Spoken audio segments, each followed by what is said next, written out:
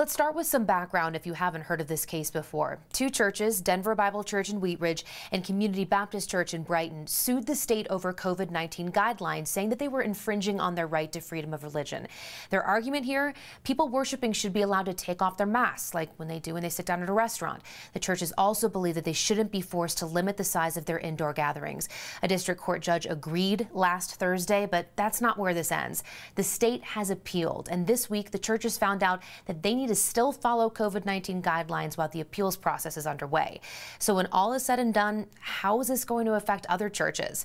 Here's our legal analyst, Whitney Traylor. If the Court of Appeals ruled in favor of the plaintiffs, this could definitely create precedent because that's an appellate court. The court made that ruling, either way, both parties might immediately appeal it. In short, nothing changes until this makes it all the way through the court system, including potentially the Supreme Court. We should get another update from the 10th Circuit Court in the beginning of November. In the newsroom, I'm Liz Kotalik, 9 News.